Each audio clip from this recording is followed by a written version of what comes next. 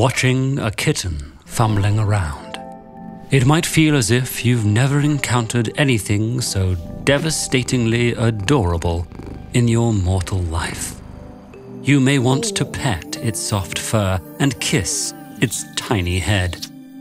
But you may also feel the conflicting urge to squeeze or smush the kitten, maybe even stuff it in your mouth.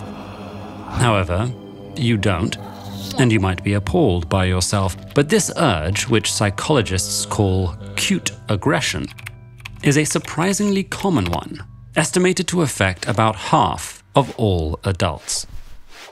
To better understand this peculiar phenomenon, let's start with what cuteness is. In 1943, one scientist created a baby schema that identified key features associated with cuteness, like plump cheeks, large eyes, and short limbs. These characteristics, associated with many young animals, were placed in opposition with those perceived as less cute. Decades of study have since indicated that this baby schema reliably tracks with how people perceive cuteness. When study participants see images containing more features that the baby schema pinpoints as cute, they tend to look at them longer and more often. And the photos appear to stimulate brain regions associated with emotion and reward.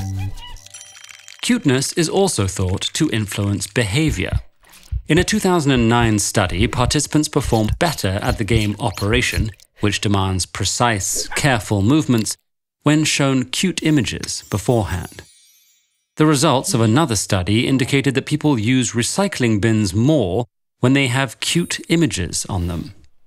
And the fact that cuteness hijacks our emotions is certainly not lost on authorities and advertisers. But why does cuteness have this hold on us? It's nearly impossible to know for sure, but one theory is that cute things simply make us want to nurture them. Because human babies are relatively helpless on their own, it's hypothesized that evolution favored infants who were perceived as cute and inspired more care and interaction. And being acutely sensitive to cuteness, we're tuned into similar features in other species, in fact, as we domesticated animals, their appearances tended to change too. Some scientists have noted a phenomenon called domestication syndrome, where certain animals appear to have gradually adopted more juvenile features as they became more docile. One theory is that these physical changes are regulated by an embryonic structure called the neural crest. It helps determine how some of a developing embryo's cells differentiate and where they go. Delaying or inhibiting the arrival of these cells in certain areas of the body can result in an underdevelopment of the pituitary and adrenal glands, which govern fear and aggression. It can also lead to physical characteristics like floppier ears, shorter snouts, and smaller jaws. This is one idea of how selecting for behavioral characteristics like friendliness may also select for more juvenile, cuter physical traits. Basically, as humans bred and domesticated docile dogs, we seem to have made some breeds look more like babies. Some scientists theorize that we may have even domesticated ourselves the thinking here is that as ancient humans formed larger, more cooperative groups, they selected for friendlier individuals. This may have then led to some of the physical characteristics that distinguish us from our closest evolutionary cousins, like smaller, rounder skulls and subtler brow ridges.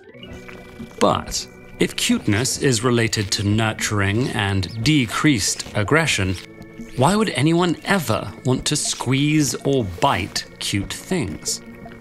Well, cute aggression is importantly not linked to the actual intention to do harm. Instead, it seems to result from emotional overload. Some scientists think that cute things elicit such positive emotions from certain people that the experience becomes overwhelming. They hypothesized that slightly aggressive, discordant thoughts are the brain's way of putting the brakes on and regulating those intense feelings, not getting you to actually eat a kitten.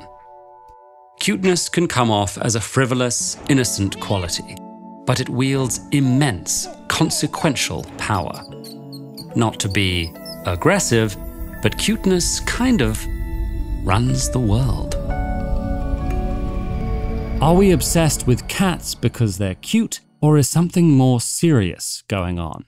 Learn about the strange disease of toxoplasmosis and the surprising reason you may love your cat so much with this video.